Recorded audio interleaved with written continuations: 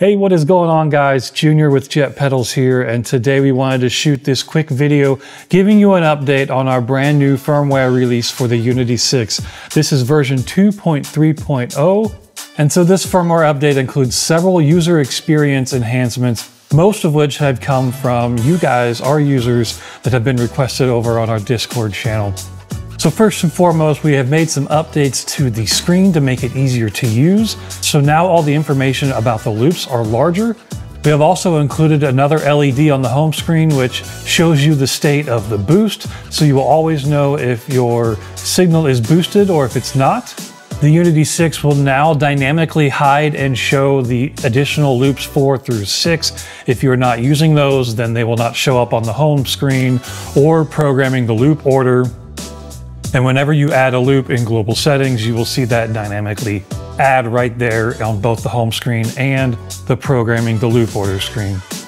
We have also added the automatic sizing of your text on the scribble strips.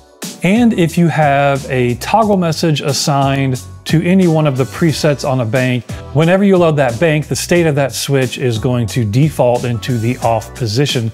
And back in firmware version 2.0, we included the ability to have your loops stay engaged when you jump through banks or back and forth through different banks.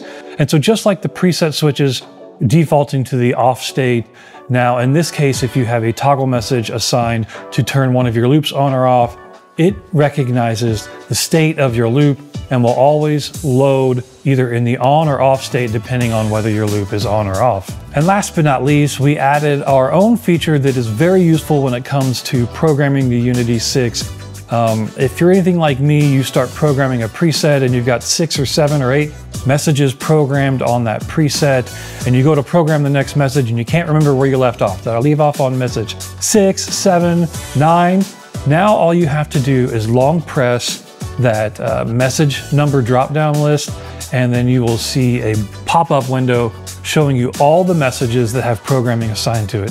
Simply click the number that you want to program, and you will jump right to that message and continue your programming. So head on over to our website now to download the latest firmware version 2.3.0, and we hope you guys enjoy all of the user enhancements that we have included in this firmware update. As always, head on over to our Discord server, leave us your feedback, add new suggestions, and we will always listen to your feedback and see what we can do together to make the Unity 6 better. Until next time, we'll see you guys.